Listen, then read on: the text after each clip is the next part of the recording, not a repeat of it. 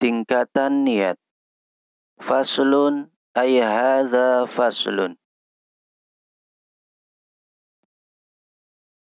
Utawi iki iku pasal. An-niyatu utawi niat iku salasu darajatin. Telung tingkatan. Ingkanat lamun ono opo as-salatu salat iku fardon fardu. Wajaba mongko wajib. Opo qasdul fi'li? Nejo nglakoni. Wa ta'yinu lan nyataake wal fardiyatu lan keferdunane salat wa ingkanat lan lamun ono opo salat iku nafilatan sunnah muaqqatatan kang den wektu-wektu karotibatin koyo salat rotibah utawa rawatib au zati sababin utawa salat kang ang duweni sebab wajaba mongko wajib apa qasdul fi'li? Nejo nglakoni. Fakot mongko bloko. Al fi'lu utawi penggawe. Iku usolli. Lafaz usolli. Wa ta'yinu utawi ta'yin iku zuhron. Lafaz zuhur.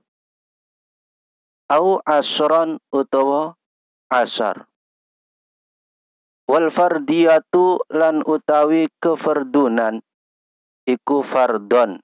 Lafaz fardon.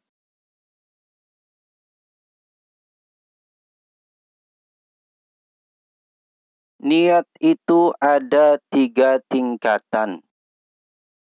Satu, apabila sholatnya sholat fardu, maka wajib bermaksud mengerjakan dan menyatakannya sholat zuhur atau asar, serta wajib menyatakan kefarduannya.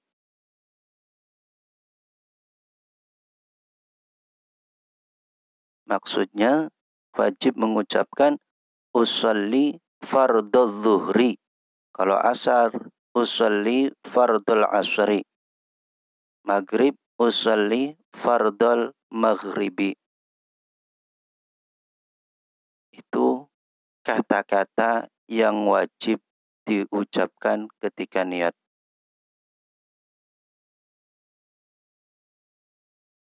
Kedua, apabila salatnya salat sunnah yang terbatas oleh waktu, misalnya salat rawatib,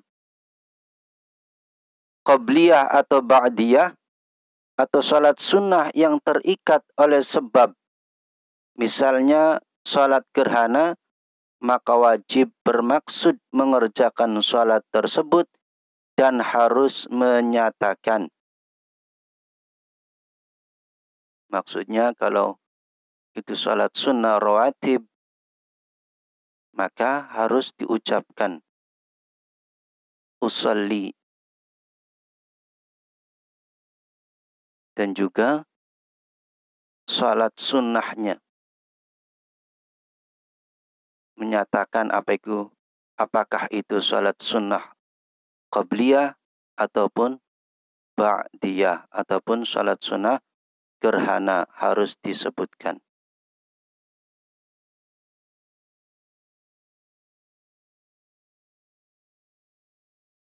Yang ketiga, apabila salatnya salat sunnah mutlak, maka yang diwajibkan hanya bermaksud mengerjakannya saja. Maksudnya ketika sholatnya itu adalah sholat sunnah mutlak, maka niatnya cukup hanya mengucapkan usalli saja itu sudah cukup. Itu jika sholatnya adalah sholat sunnah mutlak.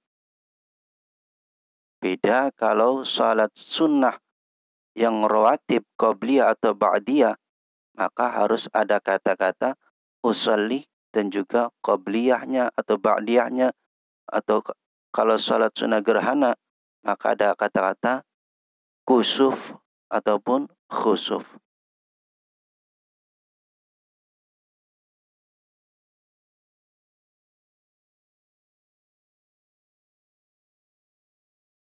Adapun yang dimaksudkan qasdul fi'li atau bermaksud mengerjakan yaitu kata-kata usalli yang artinya aku salat.